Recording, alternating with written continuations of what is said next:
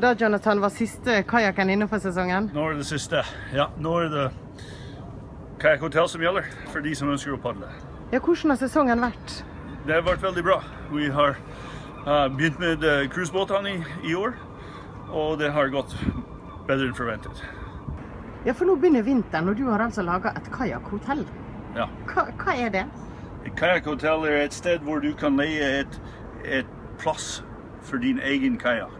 Hvis du bor i et leilighet eller et hus uten garasje, du har ikke plass for din egen båt, du kan leie et sted her hvor du kan ha båten og tilgang 24 timer døgnet. Ja, Eller du bare har lyst til å padle i lunsjpauser på jobb. Stemmer. Du kan padle til jobb.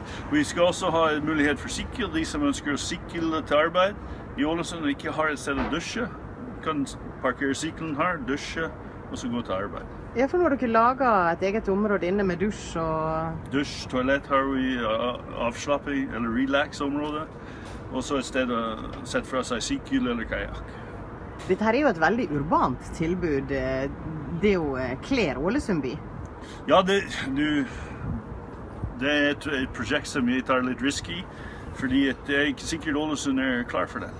Jeg tror, uh, you know, jeg vet Oslo har, Stavanger har, Bergen har, men kanskje Ålesund er litt for lite.